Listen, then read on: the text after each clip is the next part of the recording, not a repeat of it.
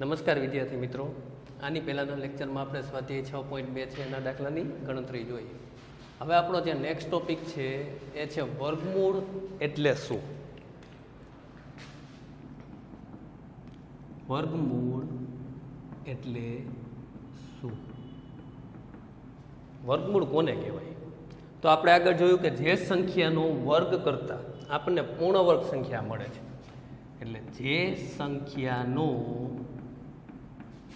વર્ગ કરતા પૂર્ણ વર્ગ સંખ્યા મળે તે સંખ્યાને આપેલી સંખ્યાનું વર્ગમૂળ કહે છે. ઉદાહરણ આપણે જોઈએ. કે પાંચનો વર્ગ બરાબર પચીસ. તેથી પચીસનું વર્ગમૂળ બરાબર પાંચ. જે સંખ્યાનો વર્ગ કરતાં પૂર્ણ વર્ગ સંખ્યા મળે. એટલે આપણે સંખ્યાનો વર્ગ જોયો હતો કે આપેલી સંખ્યાનો તે જ સંખ્યા સાથે ગુણાકાર કરવાથી જે મળે એને પૂર્ણ વર્ગ સંખ્યા કહેવાય. એટલે સંખ્યાનો વર્ગ, એટલે પાંચનો વર્ગ. તો પાંચનો પાંચ સાથે ગુણાકાર કરીએ તો આપણને પચીસ મળે છે. પચીસ પૂર્ણ વર્ગ સંખ્યા છે, તો પચીસ છે પૂર્ણ વર્ગ સંખ્યા છે. પણ જે સંખ્યાનો વર્ગ કરતાં પૂર્ણ વર્ગ સંખ્યા મળે, એટલે પાંચનો આપણે વર્ગ કરીએ, પચીસ મળે, તો પચીસ છે, એનું વર્ગમૂળ કેટલું થશે? પાંચ. તો પાંચને શું કહેવાય? પચીસનું વર્ગમૂળ. એટલે પાંચનો વર્ગ પચીસ. આપણે આ રીતે સંખ્યા, આ સંખ્યામાં દર્શાવેલું છે બરાબર આપણે શબ્દોમાં પણ લખી શકીએ. અહીં પચીસનું વર્ગમૂળ પાંચ મળ્યું છે આપણને બરાબર આ સંખ્યાત્મક રીતે આપણે દર્શાવેલું છે. આપણે આ રીતે પણ લખી શકીએ. પાંચનો વર્ગ. શું મળે આપણને? પચીસ. તો પચીસનું વર્ગમૂળ શું થાય? પાંચ. ખાસ સમજો વર્ગમૂળ છે એને સંકેતમાં કેવી રીતે દર્શાવાય છે? આ રીતે. આને વંચાય શું તો કે પચીસનું વર્ગમૂળ. શું મળશે આપણને? પાંચ. કારણ કે પચીસ છે, એના આપણે અવયવ પાડીએ, એટલે આપણને પાંચ ગુણ્યા પાંચ મળે, વર્ગમૂળમાં બે વાર છે, આપણે એક વાર લખવાનું, એટલે પચીસનું વર્ગમૂળ કેટલું મળે? પાંચ. એટલે આ જે આપણે આને સંકેત, આ સંકેતમાં દર્શાવેલું છે, પણ એને વાંચવું હોય તો પચીસનું વર્ગમૂળ બરાબર પાંચ. એટલે જે સંખ્યાનો વર્ગ કરતાં પૂર્ણ વર્ગ સંખ્યા મળે તે સંખ્યાને આપેલી સંખ્યાનું વર્ગમૂળ કહે છે. એટલે આપણે વધારે ઉદાહરણ જોઈએ તો ચારનો વર્ગ છે સોળ થાય તો સોળનું વર્ગમૂળ કેટલું થાય પાછું? ચાર. છનો વર્ગ છત્રીસ થાય તો છત્રીસનું વર્ગમૂળ કેટલું થાય? છ. આઠનો વર્ગ ચોસઠ થાય તો ચોસઠનું વર્ગમૂળ કેટલું થાય પાછું? આઠ થાય. બરાબર? એ રીતે આપણે અલગ અલગ ઉદાહરણ આપી શકીએ. ચાલો, આપણે બીજું એક એક્ઝામ્પલ લઈએ. માઇનસ એકનો વર્ગ. હવે આપણે અગાઉ જોયેલા સંખ્યાનો વર્ગ એટલે શું? તો કે આપેલી સંખ્યાનો ગુણાકાર તે જ સંખ્યા સાથે કરવાથી આપણને શું મળે સંખ્યાનો વર્ગ? તો માઇનસ એકનો વર્ગ મેળવવો હોય તો આપણે માઇનસ એકનો ગુણાકાર કોની સાથે કરવો પડે? માઇનસ એક સાથે કરવો પડે. હવે ગુણાકારમાં આપણે નિયમ જોઈએ નિશાનીના, તો માઇનસ માઇનસ શું મળે આપણે પ્લસ મળે અને એક એકું એક, એટલે માઇનસ એકનો માઇનસ એક સાથે ગુણાકાર કરીએ તો પણ આપણને શું મળે? પ્લસ એક મળે છે. એટલે માઇનસ એકનો વર્ગ છે, એક મળે તો શું એકનું વર્ગ આપણે એમ લખી શકીએ કે એકનું વર્ગમૂળ બરાબર માઇનસ એક. આ લખી શકાય. બરાબર?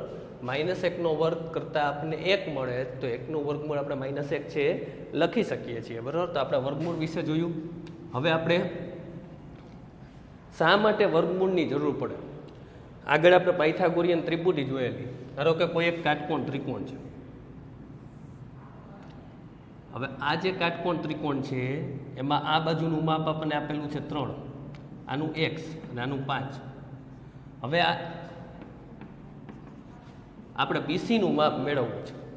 તો પાયથાગોરસ છે એના પ્રમેય પ્રમાણે, બરાબર? જે પાંચનો વર્ગ છે. એ કોના બરાબર હોય? તો કે ત્રણનો વર્ગ અને એક્સ વર્ગના સરવાળા બરાબર. એટલે ત્રણનો વર્ગ અને એક્સનો વર્ગ, આ બંનેનો આપણે સરવાળો કરીએ, એટલે કોના બરાબર હોય? પાંચના વર્ગ બરાબર. પચીસ બરાબર. નવ પ્લસ એક્સનો વર્ગ. ચાલો આપણે બાજુ ફેરવી નાખીએ. જમણી બાજુ છે અને ડાબી બાજુ લખી નાખીએ. તો આપણને શું મળશે? નવ પ્લસ એક્સ વર્ગ બરાબર પચીસ. એક્સ વર્ગ બરાબર પચીસ માઇનસ એક્સ વર્ગ બરાબર સોળ. તો અહીંયા આપણને ખ્યાલ હોવો જોઈએ. એક્સની કિંમત ક્યારે મળે? જ્યારે આપણને ખ્યાલ હોય કે સોળનું વર્ગમૂળ શું થાય? બરાબર? તો એક્સની કિંમત આપણને શું મળશે? ચાર. અહીં એક્સ વર્ગ બરાબર સોળ છે. પણ આપણે બીસીનું માપ મેળવવું હોય એક્સનું માપ મેળવવું હોય, તો સોળનું વર્ગમૂળ આપણને ખ્યાલ હોવું જોઈએ. એટલે આગળ તમે જે દાખલા ગણશો, એમાં પણ તમને જે તે સંખ્યા છે એનું વર્ગમૂળ ખ્યાલ હોવું જોઈએ. એટલા માટે વર્ગમૂળની જરૂરિયાત છે, બરાબર? તમે ચોરસનું ક્ષેત્રફળ, એનું સૂત્ર પણ જાણતા હશો. કે લંબાઈનો વર્ગ કરવાથી શું મળે આપણે ચોરસનું ક્ષેત્રફળ મળે. તો આપણે જે બાજુ છે, બરાબર? એટલે ટૂંકમાં ચોરસ છે, એમાં એક જ બાજુ હોય લંબાઈ, બરાબર? જેની ચારેય બાજુ સરખી હોય એને ચોરસ કહેવાય. તો આપણે બાજુનો વર્ગ કરીએ અથવા બાજુની લંબાઈનો વર્ગ કરીએ એટલે ચોરસનું ક્ષેત્રફળ મળે છે. તો બાજુની જે લંબાઈ છે, એ આપણે મેળવવી હોય તો શું કરવું પડે? ચોરસનું ક્ષેત્રફળ તમને આપી દીધું. તો એનું વર્ગમૂળ તમને ખ્યાલ હોવો જોઈએ. વર્ગમૂળ ખ્યાલ હોય તો જ તમે ચોરસની બાજુની લંબાઈ મેળવી શકો. એટલે ઘણા બધા દાખલા એવા છે કે જેમાં તમારે જે તે સંખ્યા છે એના વર્ગમૂળ જાણવાની ફરજ પડે છે. એટલે આપણને ખ્યાલ હોવો જોઈએ કે જે તે સંખ્યા છે એનું વર્ગમૂળ શું છે. હવે આપણે સ્વાધ્યાય છ પોઈન્ટ ત્રણ છે એના દાખલાની ગણતરી કરવાની છે. સ્વાધ્યાય છ પોઈન્ટ ત્રણ છે એનો પહેલો દાખલો છે એ જોઈએ.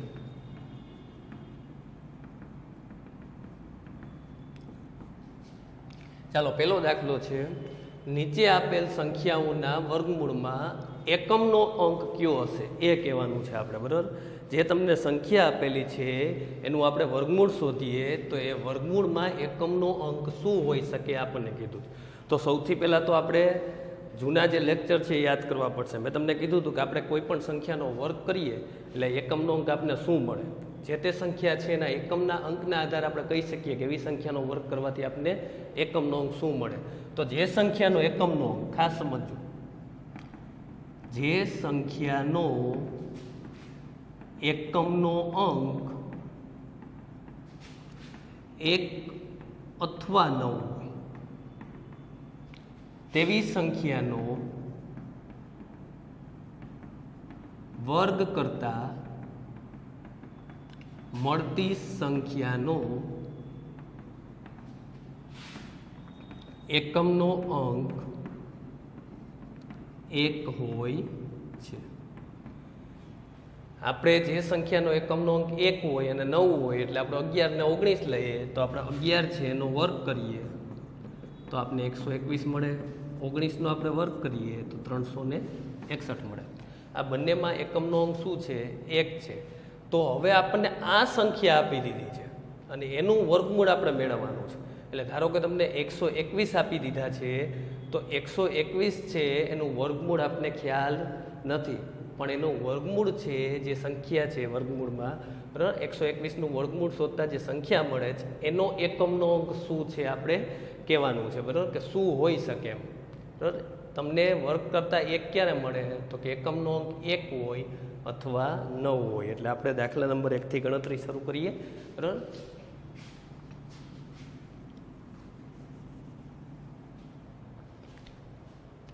નીચે આપેલ સંખ્યાના વર્ગમૂળમાં એકમનો અંક કયો હશે? એમાં પહેલી સંખ્યા છે અઠ્ઠાણું ઝીરો એક.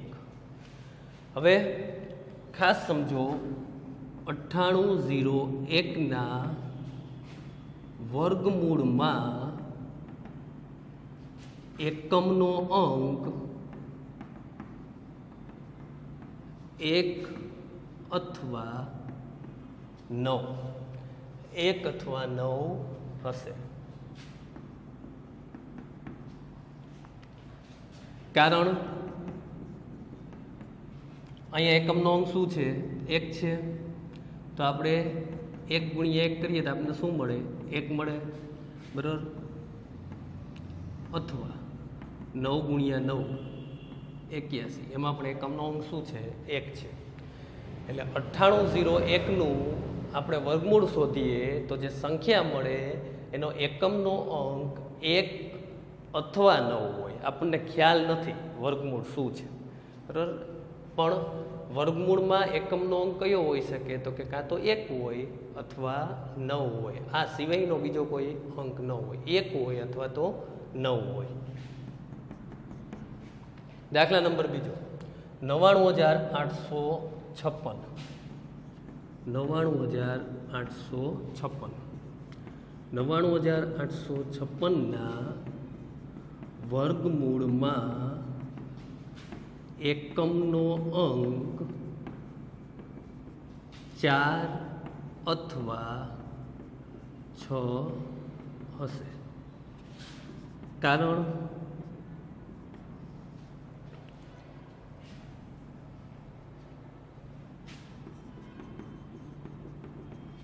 ચાર ગુણ્યા ચાર બરાબર સોળ. એટલે એકમનો અંક છ મળે. અથવા છ ગુણ્યા છ, છત્રીસ. તો ત્યાં પણ એકમનો છ મળે, બરાબર? એટલે ખાસ ધ્યાન રાખજો કે નવ્વાણું હજાર આઠસો છપ્પન છે એનો એકમનો અંક છ છે, બરાબર? તો આપણે એકમનો અંક જ જોવાનો છે. કે આપણે કઈ એવી સંખ્યા છે, બરાબર? કે જેનો આપણે વર્ક કરીએ, તો આપણને એકમનો અંક છ મળે. તો કાં તો ચાર હોય એકમના એકમના સ્થાને ચાર હોય, એવી સંખ્યાનો આપણે વર્ક કરીએ, તો જે સંખ્યા મળે એના એકમના અંકમાં છ હોય અથવા તો છ. એટલે આનું વર્ગમૂળ કાઢતા જે સંખ્યા મળે, એનો એકમનો અંક ચાર અથવા છ હશે. કાં તો ચાર હશે, કાં તો છ હશે. બરાબર? ચાર અથવા છ.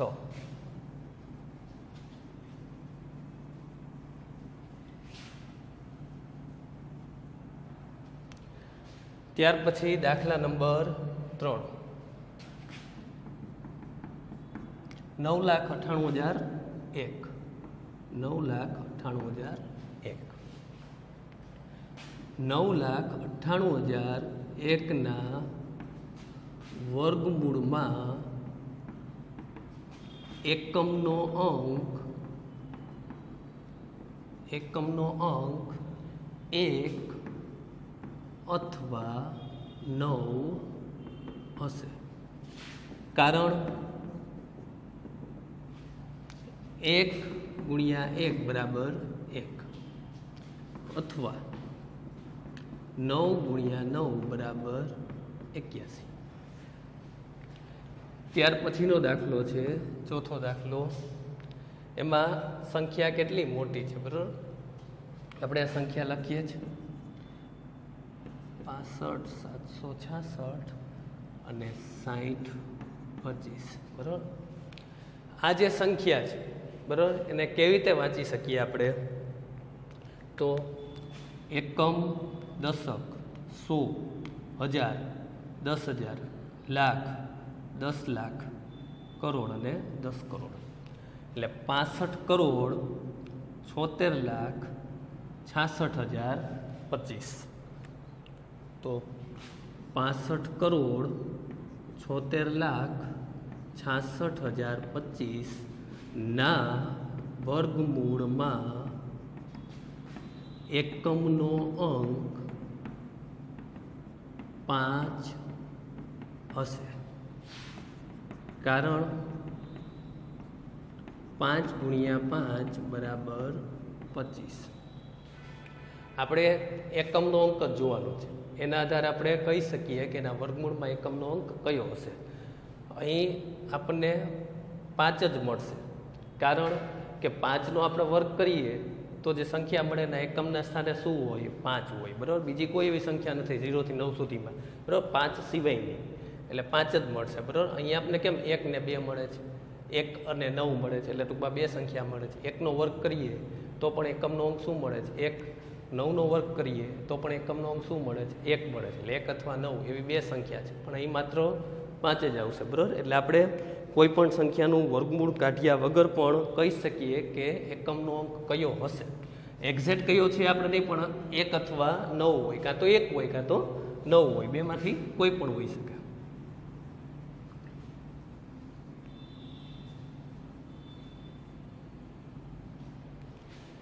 ચાલો, ત્યાર પછી દાખલા નંબર બે છે. કોઈ પણ પ્રકારની ગણતરી કર્યા વિના જણાવો કે નીચેના પૈકી કઈ સંખ્યા પૂર્ણ વર્ગ નથી. હવે જૂનું રિવાઇઝ કરો, જૂનું યાદ કરો. મેં તમને કીધું હતું કે કઈ સંખ્યા પૂર્ણ વર્ગ હોઈ શકે? ખાસ સમજજો. જે સંખ્યાનો એકમનો અંક, જે સંખ્યાનો એકમનો અંક ઝીરો, એક, બરાબર? ઝીરો, પછી એક, પછી ચાર, નવ, પાંચ કે છ હોય. તે સંખ્યા, બરાબર? તે સંખ્યા પૂર્ણ વર્ગ હોઈ શકે. કોઈ પણ સંખ્યા છે, એ પૂર્ણ વર્ગ સંખ્યા ક્યારે હોઈ શકે? તમારે શું કરવાનું છે? ઝીરોથી નવ સુધીની સંખ્યાના વર્ગના જે એકમના અંક છે મેળવવાના. વર્ગ કરવાથી મળતો એકમનો અંક. બેનો વર્ગ, ચાર. ત્રણનો વર્ગ નવ, ચારનો વર્ગ સોળ એટલે એકમનો અંક જ લખવાનો છે. પાંચનો વર્ગ પચીસ એટલે પાંચ. છનો વર્ગ છત્રીસ એટલે છ. સાતનો વર્ગ ઓગણપચાસ એટલે નવ. આઠનો વર્ગ ચોસઠ એટલે ચાર. નવનો વર્ગ એક્યાસી એટલે એક. તો કોઈ પણ પૂર્ણવર્ગ સંખ્યા છે, એનો એકમનો અંક શું હોઈ શકે? તો કે ઝીરો, એક, ચાર, નવ છ કે પાંચ. આપણે સિક્વન્સમાં લખીએ તો શૂન્ય, એક, ચાર, પાંચ, છ કે નવ. આ સિવાયનો કોઈ અંક હોય તો તે સંખ્યા પૂર્ણ વર્ગ ન હોઈ શકે. આ સિવાયનો. તો આપણે ગણતરી કર્યા વગર જ કહી શકીએ. સૌથી પહેલાં એકસો ત્રેપન છે. હવે તમે સરળતાથી કહી શકો કે એકસો ત્રેપન શા માટે? પૂર્ણ વર્ગ સંખ્યા નથી.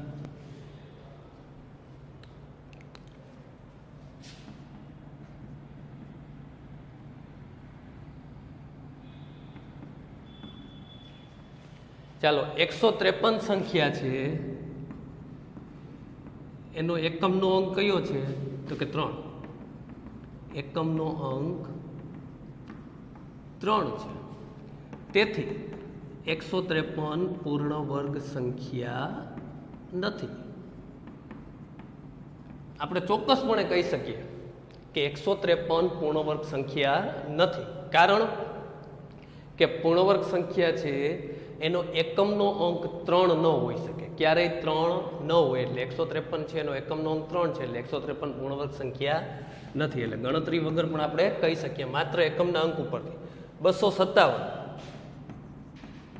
બસો સત્તાવન સંખ્યાનો એકમનો અંક સાત છે. તેથી બસો સત્તાવન પૂર્ણ વર્ગ સંખ્યા નથી. તેથી બસો સત્તાવન પૂર્ણ વર્ગ સંખ્યા નથી. ચાલો, ત્રીજી સંખ્યા છે ચારસો આઠ. ચારસો આઠ સંખ્યાનો એકમનો અંક આઠ છે. તેથી ચારસો આઠ પૂર્ણ વર્ગ સંખ્યા નથી. યાદ રાખજો, જે સંખ્યાનો એકમનો અંક બે, ત્રણ, સાત કે આઠ હોય, એ સંખ્યા પૂર્ણ વર્ગ ન જ હોય. જો હું જે શબ્દ બોલું એ સમજજો, એ પૂર્ણ વર્ગ ન જ હોય. એટલે એકસો ત્રેપન છે, એનો એકમનો અંક ત્રણ છે, એટલે પૂર્ણ વર્ગ સંખ્યા ન જ હોય. બસો સત્તાવન, કારણ કે કોઈ પણ પૂર્ણ વર્ગ સંખ્યાનો એકમનો અંક બે, ત્રણ, સાત, આઠ ન હોઈ શકે. બરાબર? ઝીરો હોય, એક હોય, ચાર હોય, પાંચ હોય, છ હોય કે નવ હોય. બાકી બે, ત્રણ, સાત, આઠ ન હોઈ શકે, બરાબર? એટલે અહીંયા ત્રણ છે, તો પૂર્ણવર્ગ સંખ્યા નથી આપણે ગણતરી વગર જ કહી શકીએ. બસો સત્તાવનમાં એકમનો અંક સાત છે, તો એ પણ પૂર્ણવર્ગ સંખ્યા નથી. ચારસો આઠ છે, એમાં એકમનો અંક આઠ છે, તો એ પણ પૂર્ણવર્ગ સંખ્યા નથી. એટલે આ ત્રણેય છે, એ આપણે પૂર્ણવર્ગ સંખ્યા નથી. એના પછીની જે સંખ્યા છે, એ છે ચારસો એકતાલીસ. હવે ચારસો એકતાલીસ છે, એ પૂર્ણવર્ગ સંખ્યા હોઈ શકે. કારણ કે એમાં એકમનો અંક કેટલો છે? એક. ચારસો એકતાલીસ સંખ્યાનો એકમનો અંક એક છે. તેથી ચારસો એકતાલીસ એ પૂર્ણવર્ગ સંખ્યા હોઈ શકે. હોય જ એવું જરૂરી નથી, પણ હોઈ શકે. બરાબર? આપણે એમ કહી શકીએ કે ચારસો એકતાલીસ છે એ પૂર્ણવર્ગ સંખ્યા હોઈ શકે એમ. કારણ કે બધી જ સંખ્યા છે જેના એકમના અંક છે ઝીરો, એક, ચાર, પાંચ, છ કે નવ હોય, એ બધી જ સંખ્યા પૂર્ણવર્ગ સંખ્યા હોય જરૂરી નથી, પણ એ પૂર્ણવર્ગ સંખ્યા હોઈ શકે. શક્યતા છે, કારણ કે એકમનો અંક શું છે? એક, એટલે પૂર્ણવર્ગ સંખ્યા હોઈ શકે. બરાબર? તેનું વર્ગમૂળ કાઢીએ, પછી જ આપણને ખ્યાલ આવે કે ચારસો એકતાલીસ છે, પૂર્ણવર્ગ સંખ્યા છે કે નહીં બરાબર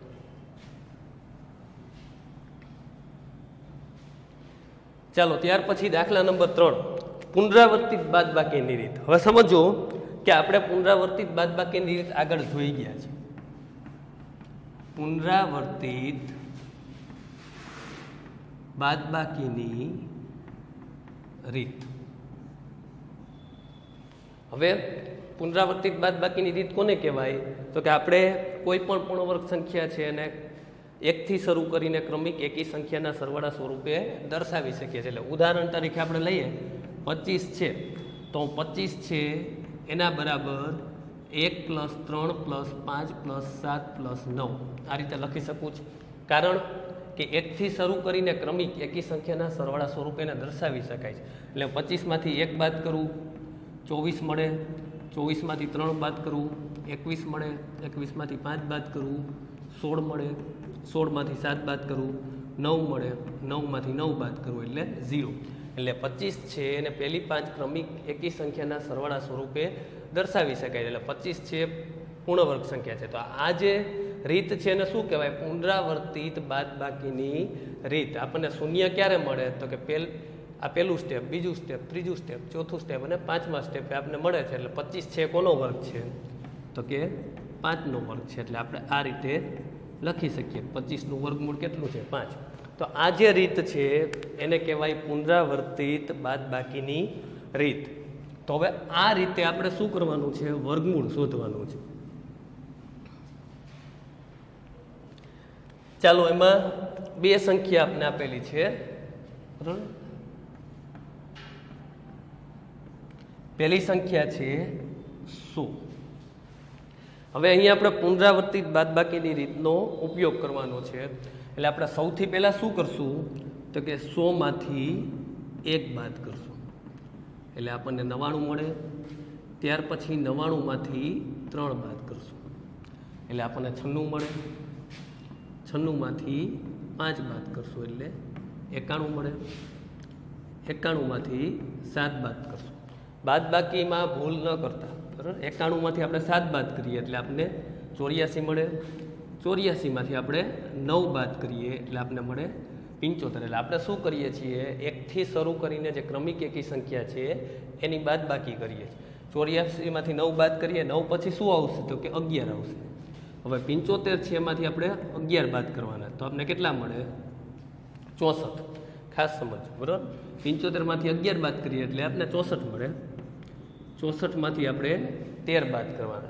ચોસઠમાંથી આપણે તેર બાદ કરીએ એટલે આપને કેટલા મળે? તો કે એકાવન. એકાવનમાંથી આપણે પંદર બાદ કરવાના છે. એટલે આપને કેટલા મળે? છત્રીસ મળે, બરાબર? છત્રીસમાંથી આપણે સત્તર બાદ કરવાના એટલે ઓગણીસ મળે. અને ઓગણીસમાંથી ઓગણીસ બાદ કરવાના એટલે ઝીરો મળે. તો પહેલું સ્ટેપ બીજું સ્ટેપ ત્રીજું સ્ટેપ અથવા આપણે પહેલા પગલે, બીજા પગલે એમ કહીએ તો દસમા પગલે આપણને ઝીરો મળી જાય છે, બરાબર? એટલે આપણે સો બરાબર આ રીતે લખી શકીએ છીએ. એક વત્તા ત્રણ વત્તા પાંચ વત્તા સાત વત્તા નવ વત્તા અગિયાર વત્તા તેર વત્તા પંદર વત્તા સત્તર વત્તા ઓગણીસ. આ આપણે અગાઉ આવા દાખલા છે, ગણેલા છે, બરાબર? એટલે પેલી દસ ક્રમિક એકી સંખ્યા છે, બરાબર? એટલે આપણે આ રીતે લખી શકીએ, બરાબર? વર્ગમૂળ. સોનું વર્ગમૂળ. બરાબર. દસ. આપણને શું મળશે? સોનું વર્ગમૂળ દસ બરાબર? ઝીરો ક્યાં મળે છે? આ રીતે આપણે લખીએ છીએ. કેટલી ક્રમિક સંખ્યા છે? એક બે ત્રણ ચાર પાંચ છ સાત આઠ નવ દસ. એટલે સોનું વર્ગમૂળ કેટલું મળશે આપણને દસ. પહેલી જે દસ ક્રમિક એકી સંખ્યા છે એનો સરવાળો કરવાથી આપણને સો મળે છે. એટલે સો કોનો વર્ગ છે? દસનો વર્ગ છે. તો સોનું વર્ગમૂળ શું થાય? તો દસનો વર્ગ સો એટલે સોનું વર્ગમૂળ દસ. એ સમજવાનું છે. આપણે આગળ જોયું કે વર્ગમૂળ એટલે શું? કે આપણે જે સંખ્યાનો વર્ગ કરતાં પૂર્ણ વર્ગ સંખ્યા મળે, તે સંખ્યાને આપેલી સંખ્યાનું વર્ગમૂળ કહીએ ચારનો વર્ગ કરીએ આપણને સોળ મળે. તો સોળનું વર્ગમૂળ પાછું કેટલું મળે? ચાર મળે. એટલે અહીં દસનો વર્ગ કરીએ આપણે, બરાબર? એટલે આપણે આ રીતે પણ લખી શકીએ. સો બરાબર દસનો વર્ગ. એટલે તેથી વર્ગગુણમાં સો બરાબર શું મળે આપણને દસ? એ રીતે પણ આપણે લખી શકીએ.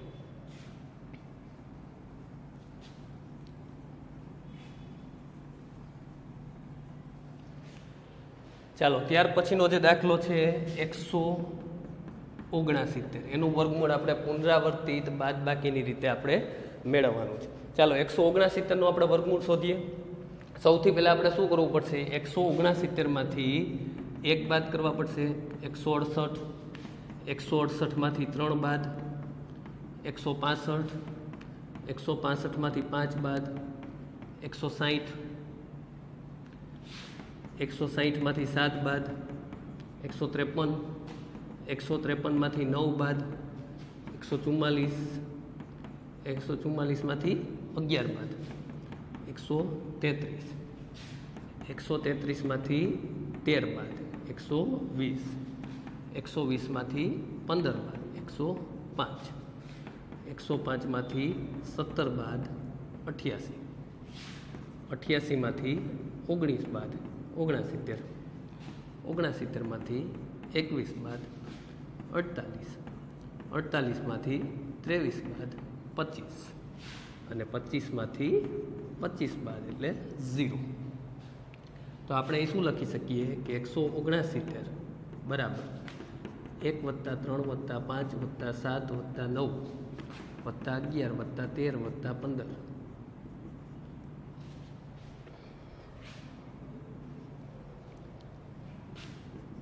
વત્તા સત્તર વત્તા ઓગણીસ વત્તા એકવીસ વત્તા ત્રેવીસ વત્તા પચીસ. તેથી એકસો ઓગણસિત્તેર બરાબર શું થશે? એક, બે, ત્રણ, ચાર, પાંચ, છ, સાત, આઠ, નવ, દસ, અગિયાર, બાર ને તેર. તેરનો વર્ગ. એટલે વર્ગમૂળ, એકસો ઓગણસિત્તેરનું વર્ગમૂળ શું મળે આપણને? તેર. તો આ જે રીત હતી એ પુનરાવર્તિત બાદબાકીની રીત હતી. તો આજના લેક્ચરમાં આપણે આટલું રાખીએ છીએ. હવે પછીના લેક્ચરમાં આપણે અવિભાજ્ય, અવયવીકરણની રીતે વર્ગમૂળ કેવી રીતે શોધી શકાય એના વિશે આપણે નેક્સ્ટ લેક્ચરમાં જોશું. Thank you